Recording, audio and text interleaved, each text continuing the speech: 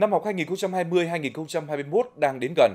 Đây là thời điểm thị trường sách và đồ dùng học tập diễn ra nhộn nhịp nhất.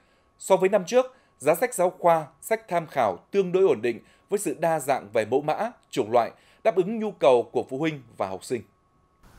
Năm học 2020-2021, công ty cổ phần phát hành sách và thiết bị trường học Hưng Yên đặt hàng các nhà xuất bản hơn 2 triệu cuốn sách giáo khoa, sách bổ trợ.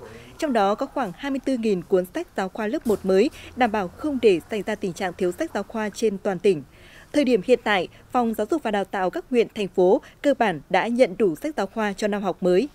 Năm nay, ngoài sách giáo khoa lớp 1 theo chương trình giáo dục phổ thông mới có giá tăng gấp 3 lần, sách giáo khoa các khối lớp khác vẫn ổn định. Các loại đồ dùng học tập cũng rất đa dạng về mẫu mã, chủng loại, đảm bảo chất lượng, chủ yếu là hàng Việt Nam của các thương hiệu lớn được người tiêu dùng lựa chọn.